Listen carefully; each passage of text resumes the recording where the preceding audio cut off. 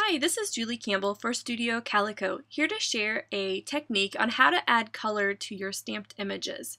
I call this technique the stained glass effect, and it's a really fun and easy way to add color to your stamped images. The stamps that we'll be using are from the Pinball Card Kit add-on, and were designed by the company 1Canoe2. The first thing that I'm going to do is to create a mask. I know that I'm going to want to layer some of my floral images, so this is the easiest way to do that without having the lines intersect. So I just stamped it along the adhesive portion of the post-it, and I'm just trimming out the image along the lines. It takes a little bit of time to create a mask, but once you have one, you can keep it with your stamp set and use it for all future projects.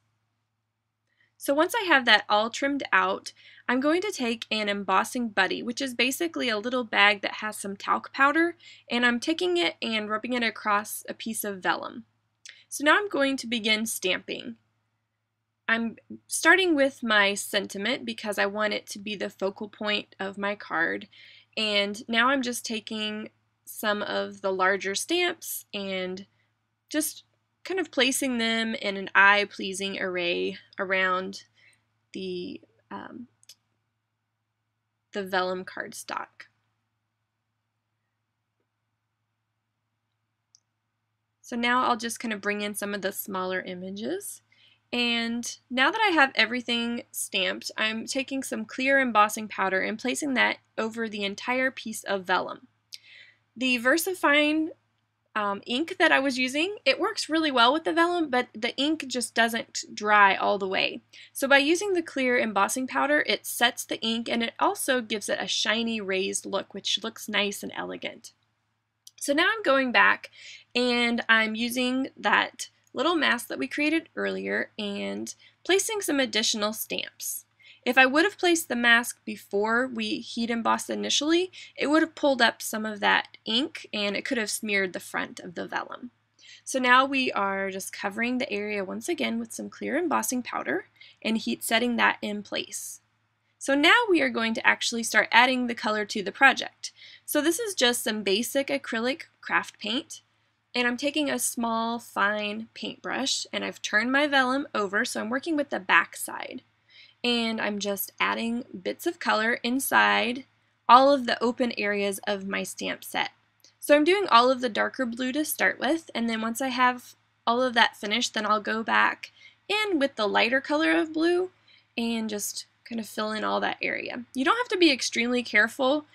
You can overlap the paints because as you can see when we're finished, it will still look really nice and crisp from the front. So let me flip that over and show you what I'm talking about. So here we have it. So this is why I call it the stained glass effect. You have that nice raised image with the, it's kind of almost like a translucent color behind it. So now I've created a just a plain frame using my Silhouette software. It's made out of white cardstock and I'm applying some adhesive around all four sides.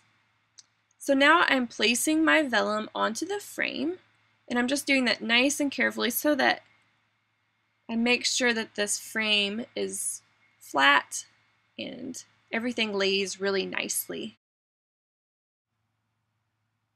So I want to make sure that the vellum really pops off the front of the card. I want the translusiveness of the material to still show through. So in order to, to do that, I'm going to add some foam adhesive to the back of the frame.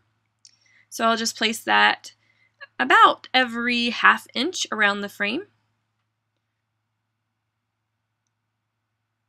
So now that that part is complete, I'm going to place that onto my card front. And I've got some blue pattern paper that's from the same card kit as the stamps, and it coordinates really nicely.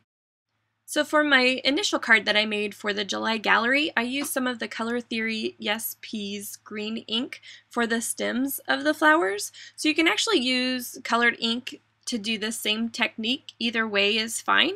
Just make sure you heat set um, whatever ink that you use if it's a dye ink or a pigment ink with some of the clear embossing powder just to make sure that it sets and it stays in place.